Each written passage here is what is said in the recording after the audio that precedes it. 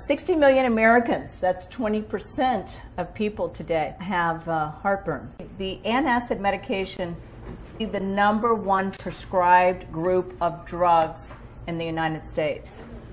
So, what causes heartburn?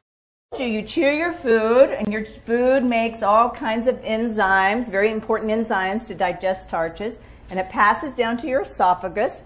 And your esophagus is like a tube that basically is a passageway to your stomach. And at the end of the esophagus is a little, it's called the lower esophageal sphincter.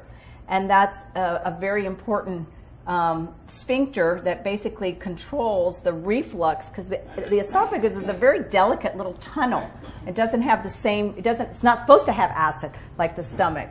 And so um, the, the lower esophageal sphincter gets loose and that stomach acid, you know, refluxes back. And so you'll have the pain, the burning, or the acidness in your stomach.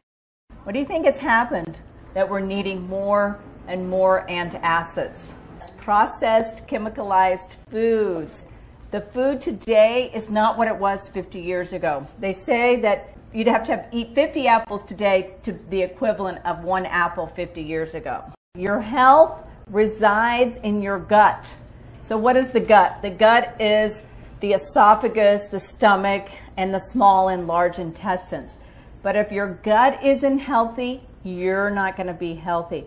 So what happens when you don't have enough stomach acid though? You die. So the stomach is keeps you alive.